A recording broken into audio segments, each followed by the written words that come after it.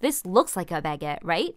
Nope. You're gonna love this if you like sweet bread. This is called Pain Viennois, and I partnered with Danish Creamery to make this taste even better. I'm mixing their European style unsalted butter with the powdered sugar to make this addictive, sweet filling to stuff in the bread. Honestly, it makes a difference compared to other butter I've bought in the past. The secret is the Danish European style butter. It has higher butter fat and gives our bread an even richer flavor. Especially for a treat like this, where butter is the star, you want to use the best butter. I can tell the difference, and you can try it for yourself. Check out the description to learn more about Danish Creamery. Oh, it's so rich.